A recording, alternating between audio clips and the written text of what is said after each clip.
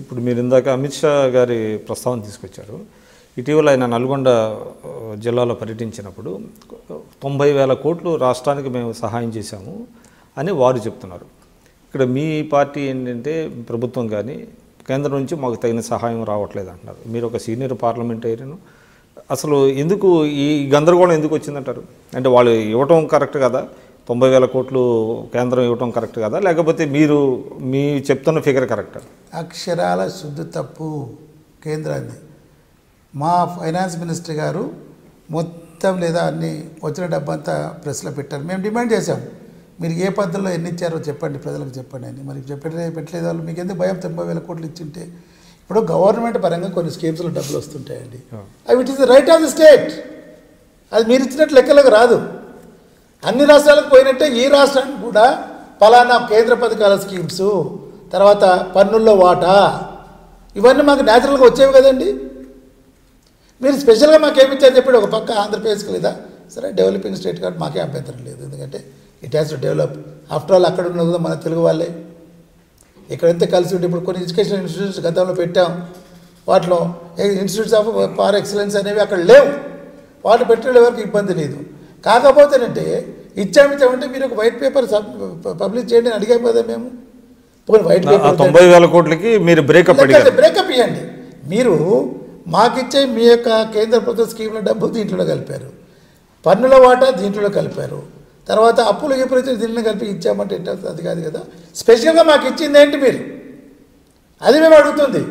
ఒక పక్క ఆంధ్రప్రదేశ్కి ఇస్తూ ఉన్నారు. సహేతుకమైన కొన్ని సహేతుకం కానీ కొన్ని ఇస్తున్నారు. ఎందుకంటే అక్కడ ఫుడ్ హోల్డింగ్ గురించి మీరు. ఇక్కడ మాత్రం మేము అడగట్లేదు అని మేము ఎన్నిసార్లు అడిగితే ముఖ్యమంత్రి గారు ఎన్ని అడిగారు? కేటీఆర్ గారు ఎన్నిసార్లు అడిగారు? హరీష్ రావు గారు ఎన్నిసార్లు అడిగారు?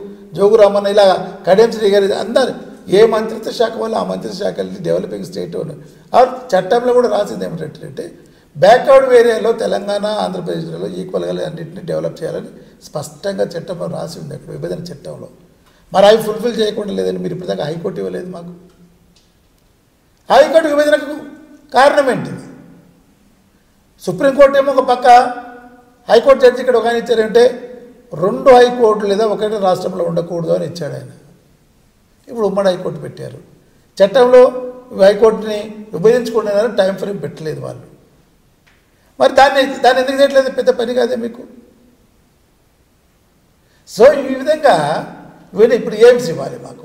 అంటే కేంద్రంతో మీరు ఒక ఘర్షణాత్మక వైఖరి వల్ల జరగట్లేదంటారా? మేము ఘర్షణ వైఖరితో లేమండి. స్పష్టంగా ముఖ్యమంత్రి గారు చెప్పడం మొన్న చూశారు ఇక్కడ పోయినప్పుడు ఎక్కడికి ఢిల్లీ వెళ్ళినప్పుడు.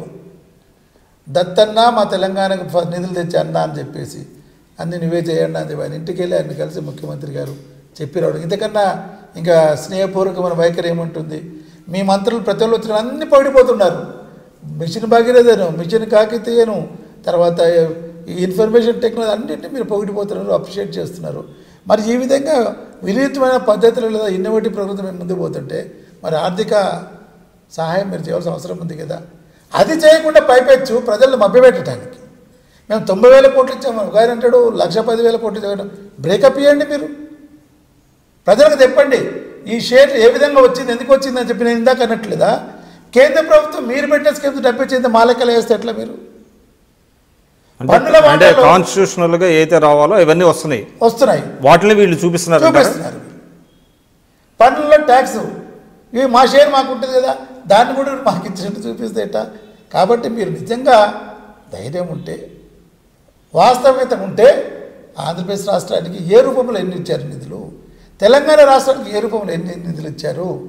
గవర్నమెంట్ ఆఫ్ ఇండియా స్కీమ్స్ ఏంటి? తర్వాత ఎయిడ్స్ ఏంటి? ఇస్తుంటారు. అవేంటి? అప్పులు ఏంటి? వీటన్ని. బ్రేకప్ చేయండి. సహాయం. బ్రేకప్ చేయకుండా ఇచ్చాము ఇచ్చాము ఇచ్చామంటే మేము అడిగాము అమిత్ షా గారు. మీరు బయట పెట్టండి అని చెప్పి. మరి ఇంతవరకు ఎందుకండి అమిత్ షా బయట పెట్టలేదు మీరు?